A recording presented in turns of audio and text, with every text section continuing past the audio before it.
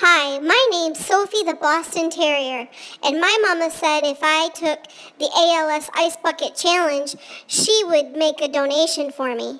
I now challenge Coach the Boston Terrier, Dude the Boston Terrier, and Peyton the Boston Terrier. You have 24 hours or pay up.